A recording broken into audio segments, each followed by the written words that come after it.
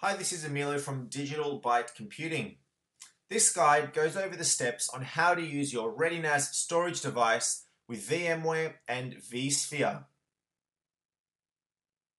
We'll be performing these steps on a vSphere 5.5 environment. However, the steps are very similar on newer or older versions of vSphere. We'll be adding storage from the ReadyNAS into vSphere so that it can be used as a data store to store your virtual machines. Select your ESX host under Inventory or Hosts and Clusters within vCenter and go to the Configuration tab. Select Storage under the Hardware section. You'll see your existing data stores for that ESX host.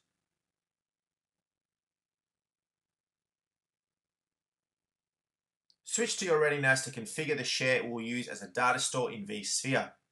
I'll be using a ReadyNAS 314. Process is similar on other ReadyNAS devices. Go to Shares. You'll see your existing shares. Either use an existing or better, create a dedicated share for your VMware infrastructure. Select New Folder, call it what you desire, and give it a description.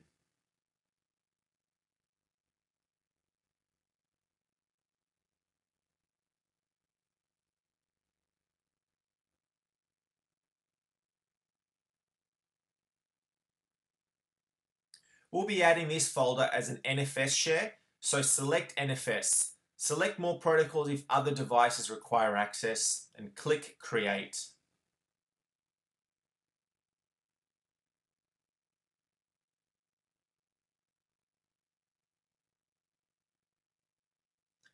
We now need to give appropriate NFS permission to the share, so select Settings.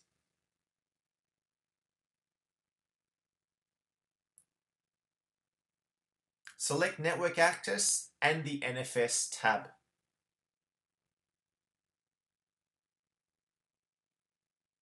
You may want to set your own permissions here. We'll set any host to have read-write permission.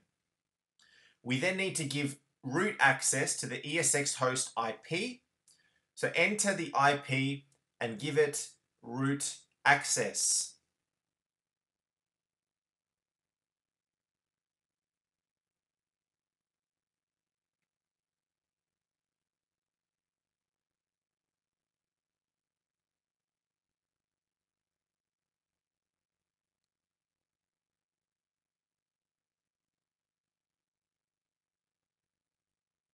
Click OK. Permissions will now be applied. You can now give the ESX host access to this new NFS share within vSphere. Within vSphere, you'll need to know the full path for this NFS share. In my case, it will be as listed. Take note of yours.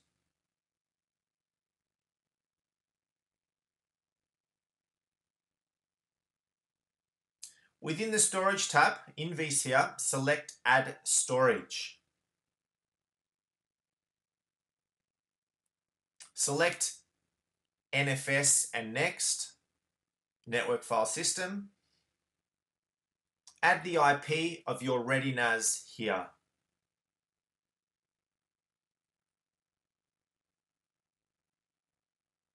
You can find the ReadyNAS IP address by going to the network I have a static IP. Yours may be set to DHCP. So find your IP, and this is the IP that we're going to use on vSphere.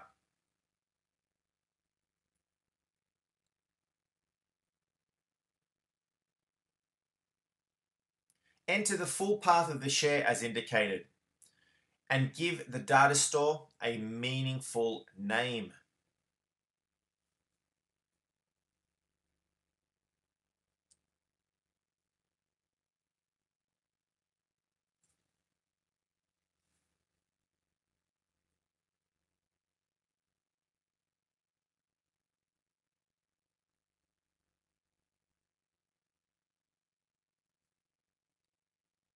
If you get an error message, please go back and ensure all steps have been followed properly. You'll see your new data store now listed, including the capacity and free space of your ReadyNAS.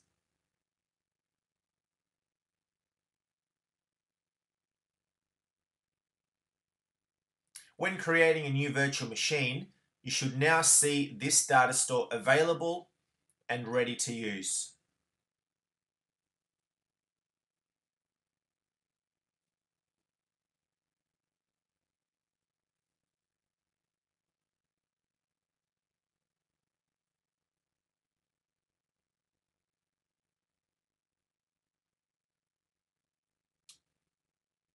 To remove this data store in future, ensure no devices or VMs are using it, and then right click and select Unmount.